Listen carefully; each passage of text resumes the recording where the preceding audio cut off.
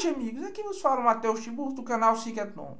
Primeiramente, se vocês gostaram desse vídeo, inscrevam-se no canal, deem um like, comentem o vídeo, compartilhem nas redes sociais. Né? Ajudem-nos né? aqui no curso de filosofia. É, sejam membros do canal por apenas R$ 2,99 e façam curso de filosofia prática, curso de teoria literária e crítica cultural e curso de apologética básica, do qual nós já gravamos a aula. É, é, hoje, hoje é mais cedo, certo? E principalmente rezem por mim. A oração é a coisa que eu mais preciso, acreditem. Né? Acreditem, a oração é um negócio muito importante para mim. Então, é, recentemente, né? É, o nosso amigo é, o Zé Carlos Novaes Neto, um abraço para você, Zé. Ele me pediu para fazer um vídeo sobre a imigração no Brasil. Que é o seguinte: você chega em qualquer uma das grandes cidades do Brasil, Rio de Janeiro, São Paulo, Fortaleza, Fortaleza não, mas é, é, na maioria das cidades que tem imigrantes, você vai ver que quase todos os hospitais quase todas as grandes escolas.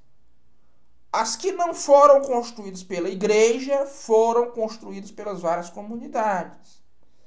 Por exemplo, em São Paulo, o hospital, é, os hospitais mais importantes são o Albert Einstein, né, dos judeus, o hospital sírio-libanês dos sírios, né, o hospital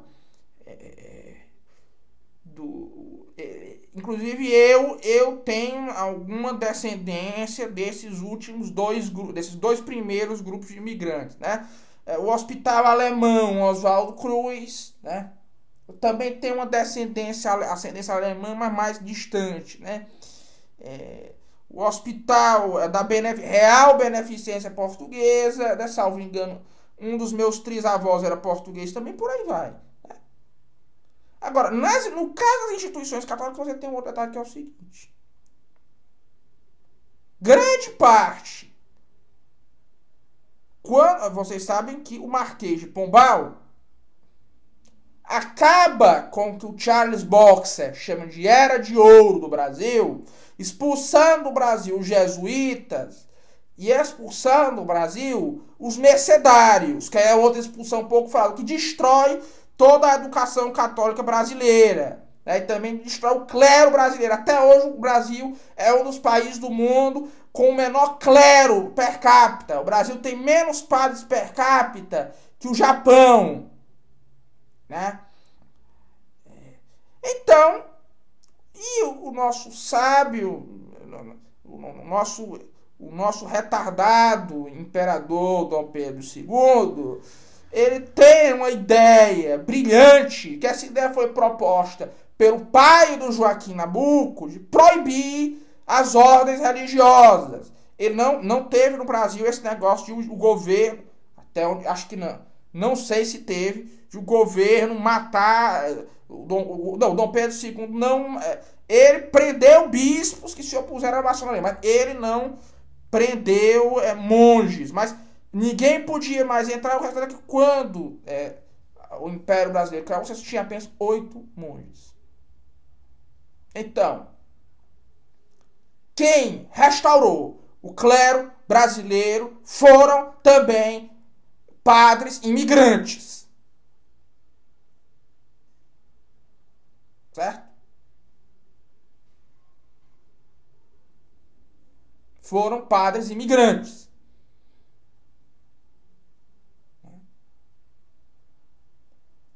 Que ainda o Brasil ainda hoje é um país que recebe imigrantes uma quantidade desproporcional dos padres brasileiros são imigrantes, inclusive dos bispos. O Brasil já teve inclusive dois casos de bispos chineses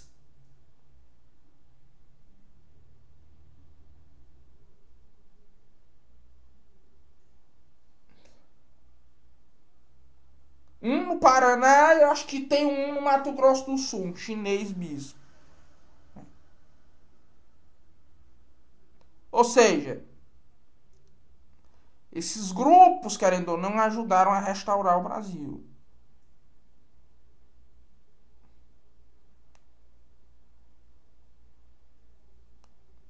E querendo ou não, o etnoi deles era uma coisa que podia contrabalançar a certas tendências telúricas desagradáveis que estavam presentes na população brasileira. Ainda que os imigrantes tenham trazido certos vícios, como protesta, não, o protestantismo não, foi, não veio pelo, pelos imigrantes brasileiros. Havia colonos que eram protestantes, mas eles não tinham interesse em é, espalhar o protestantismo pela, pelo, é, pelos demais. O Brasil sempre foi um país que é válido lembrar que ele sempre foi um refúgio de católicos do mundo inteiro que sofriam perseguição, certo? Nos seus lugares. A maioria dos colonos que vieram para o Brasil eram católicos. E muitos dos que não eram se converteram. Porque o Brasil ele tem esse aspecto de ser uma espécie última no cristianismo, no catolicismo.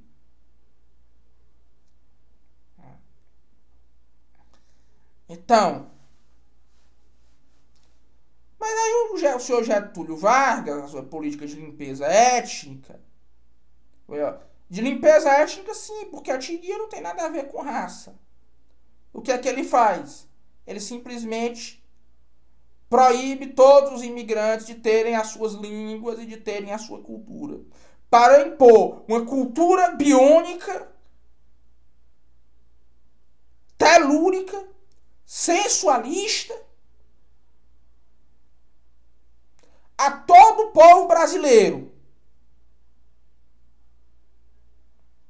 Querer colocar como centro da cultura carnaval, futebol, o samba e outras expressões assim.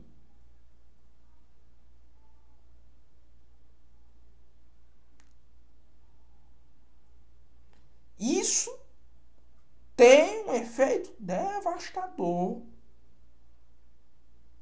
na cultura brasileira. E é algo de que ninguém nunca se recuperou. Porque uma pessoa que perde. Porque as pessoas, esses grupos de imigrantes, e também, e também os brasileiros, que, do resto dos brasileiros, eles perderam as suas culturas para entrar, caírem em uma coisa que não é cultura, mas que é vício. As consequências disso para o Brasil são incalculáveis.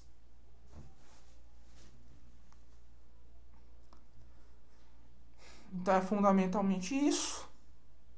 Um forte abraço a todos e até logo.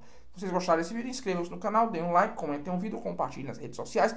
Sejam membros, façam um curso de filosofia prática, curso de teoria literária cultural. E é fundamentalmente isso. Um forte abraço a todos e até logo. Amanhã temos um Tibúcio Responde. Pois um forte abraço a todos e até logo. Rezem por mim, viu, pessoal?